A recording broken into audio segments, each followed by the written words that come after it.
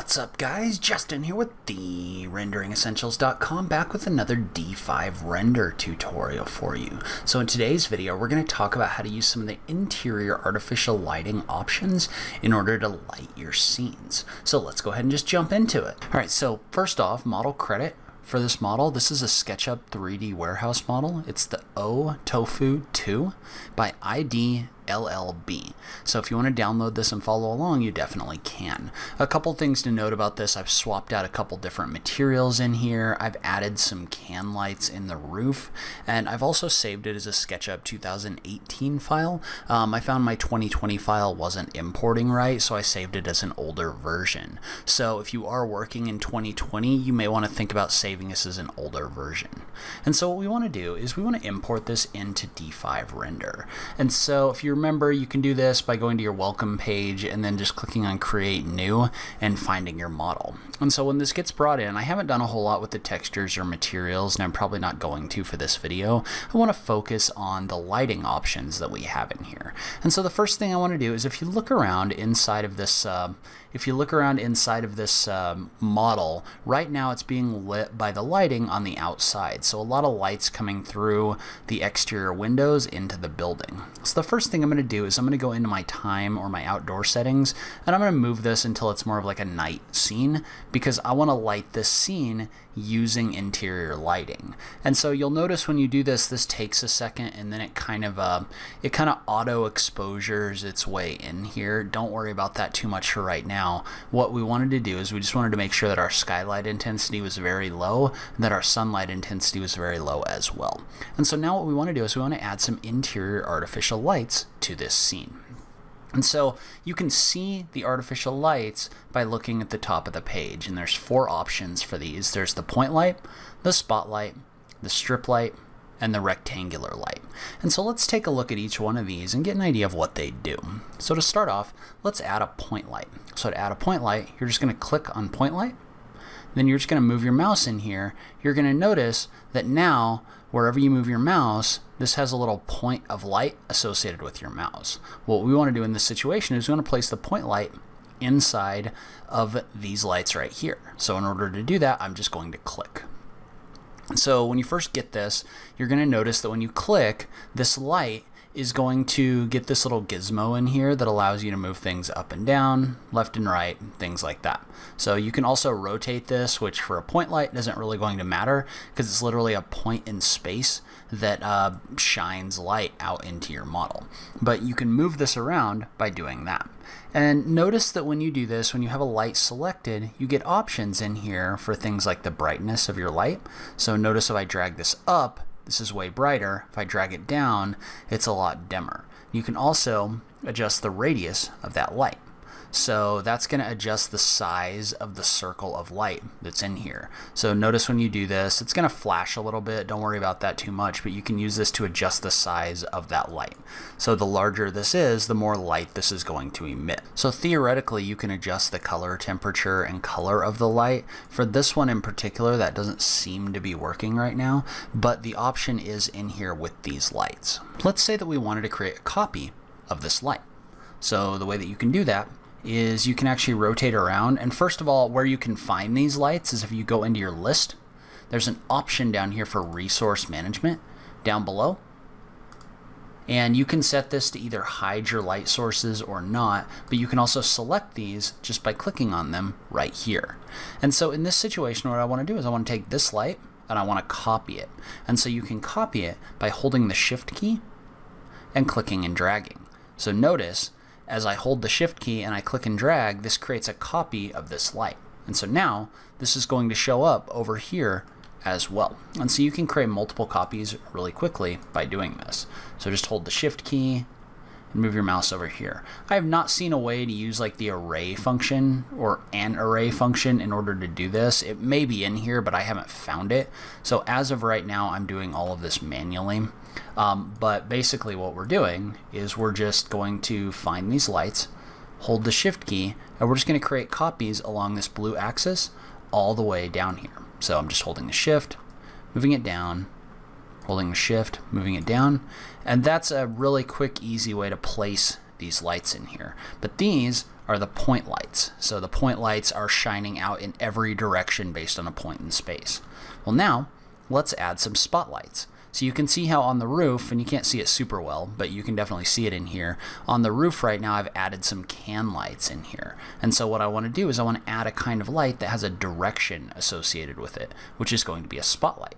So to place a spotlight, we're just going to click on spotlight right here, move our mouse over this point, and then click again. And so what that's going to do is that's going to create a light that has a direction associated with it. And so before we take a really close look at this, let's go ahead and uh, turn off these lights. So you can see how you can come through and you can click on these little eyes in here in order to turn these lights off. Well now, if we look at this, all of our point lights have been turned off and the only light that's going in here is our spotlight. And so if we select our spotlight, you're going to notice that we've got a few other options in here that we didn't have with the point light. So you need to remember that these lights actually have a direction associated with them. So you need to pay attention to what direction they're facing. Notice that as I rotate this around, the light is going in a different direction depending on the way that I rotate this. So you can adjust the direction that these face by um, selecting and dragging this rotation to give it a different angle. So you can also adjust the light profile, meaning this light is going to shine differently depending on which one of these I select. So um, you can select any of these that you want. You can also upload a custom IES file. And then for this one, you can adjust things like your brightness, so how bright your light's going to be, how much light this is going to emit. You can also click in here and type in a value. You can also adjust your cone angle. So your cone angle is going to adjust how far outward your light goes. So you can kind of see this as this flashes. If I have a very narrow cone angle, it's going to shine like straight down. If I have a very wide cone angle, the light's going to go out a lot more. So you can see how the radius for where the light is shining is out a lot more with that cone angle. Then you can also adjust the fall off distance. And so the fall off distance is going to affect how far the light travels from that light. So you can see how right here, for example, if I turn the fall off distance way down, the light doesn't even get to the table. If I turn it up a little bit, it gets to the table, but it doesn't go much further than that. So in this situation, I'm maybe going to turn this down to about 150 I'm going to turn my cone angle down to about 40. And I'm going to turn my fall off distance up just a little bit. But you can see how one of the cool things about this light is it's actually casting shadows as well. So these shadows are being cast based on that light, which makes these a little bit more realistic.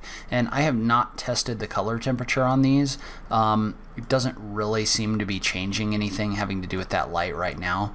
Um, but theoretically the settings are in here. Um, they don't seem to be working, at least based on what I'm seeing right here. But what I'm going to do is I'm just going to take this and I'm just going to do the same thing, where I'm going to make copies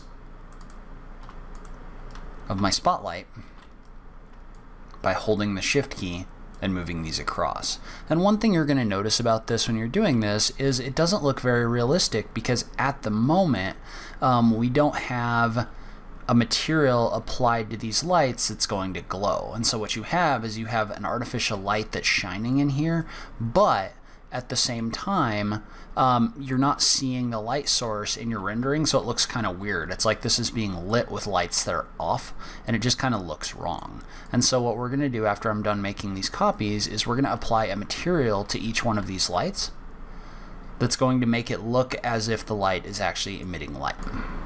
And so the way that we're going to do that is we're going to apply a special material to each one of these um, that's known as an emitter. And so real quick, I'm going to toggle off just this one spotlight for right now. And so what I want to do is I want to take a look at this material that we have applied to this object. So if you look at this object right now, it doesn't really have anything special having to do with the material. And what I've done, if I click on this, is you can see how I've applied a different material to the face of each one of these objects inside of SketchUp than your normal material. It shows up as default SketchUp material, but I, don't know why it says that because it's not the default material. But in any case, what I'm going to do, because each one of these has that same material, is I'm going to go in with the material, um, with the material picker, and I'm going to select a material template of emissive. So when I select the option for emissive, what this is going to do is this is now going to emit light. So if I click and drag this little slider, you're going to notice that now all of a sudden these lights actually emit light. And so usually the emitters don't do a great job of lighting your scene. Usually you want to couple them with a spotlight. But what you're going to notice about these emitters is now these lights are going to glow, so it actually looks like they're casting light inside of your scene. So a lot of the time you'll couple this with um, a lot of the time you'll couple this with your spotlights inside of your scenes. And clearly I've done a poor job of lining up all of these lights but we'll go ahead and leave most of them as is for right now. But you're going to use this in order to make something that emits light and so we're going to do the same thing with these lights over here. So you can see how these lights right here, um, they're a light that kind of hangs down. Well, they have their own material applied to them as well. So if you look at these and you click on them, they've got this material associated with them. And right now they're in here as a light. Well, I want to change these to an emitter as well. And so if I click on the button for emissive, you can see how now these over here are going to emit light. We may need to come back in and add some point lights on this. I'm not 100% sure, but for now we'll just leave them as emitters and we'll see how this renders out.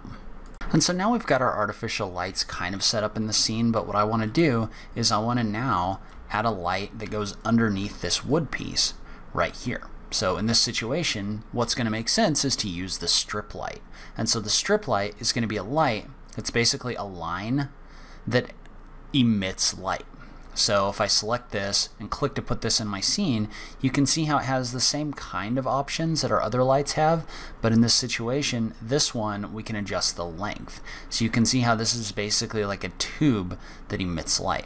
And you can adjust this, you can adjust the brightness that this creates by using the brightness slider down below. So I'm gonna go ahead and put this at 250, and I'm hoping that I can get a color off of this one, but it doesn't seem to want to give me a color. Maybe that'll render out with a color. I'm not 100% sure. But we're going to go ahead and leave that as is. But you can see how this is basically a line or a tube that's going to emit light.